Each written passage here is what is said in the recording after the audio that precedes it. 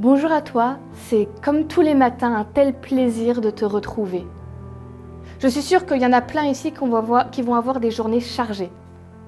Alors avant de partir sur tout ce que tu as à faire, je te propose qu'on prenne juste quelques minutes ensemble pour parler de Dieu et aujourd'hui particulièrement parler de connaître vraiment Dieu.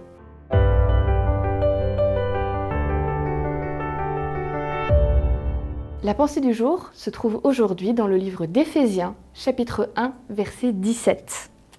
Que le Dieu de notre Seigneur Jésus-Christ, le Père de gloire, vous donne un esprit de sagesse et de révélation dans sa connaissance.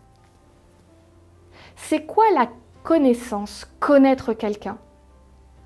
Peut-être que tu as déjà regardé l'émission Les Amours, où tu as euh, des couples d'amoureux qui s'affrontent, voir s'ils se connaissent bien. Et tout à la fin du jeu, il y a un couple à qui on balance plein, plein, plein de questions, voir s'ils connaissent tous les petits détails. Alors ça peut être combien de verres d'eau ils boivent par jour, c'était quoi leur dernière vacances ou le nom du chien du grand-père. Mais est-ce que c'est vraiment ça, connaître quelqu'un Avoir des informations sur lui? Moi je crois que c'est plutôt connaître les choses réellement importantes.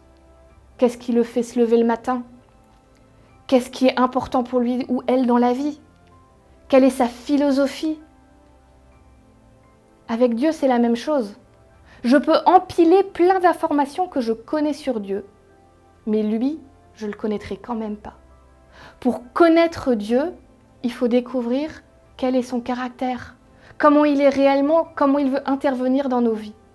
Et ça, on le fait en lisant euh, son journal intime qu'on appelle la Bible, où il révèle un peu de qui il est, en priant, en ayant des expériences de tous les jours avec lui.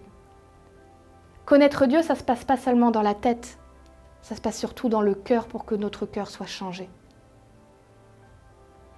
Alors moi, ce que je te propose aujourd'hui pour apprendre à connaître Dieu, ou le connaître encore plus si déjà tu as une relation forte avec lui, prends le temps dans ta journée, tranquillement, et prends une Bible, et si tu n'as pas de Bible, tu peux trouver facilement sur Internet, et lis le psaume 103.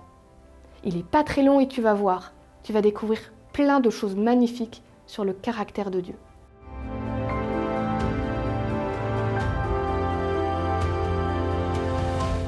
Merci à toi d'avoir regardé la pensée du jour. J'espère qu'elle t'a fait du bien.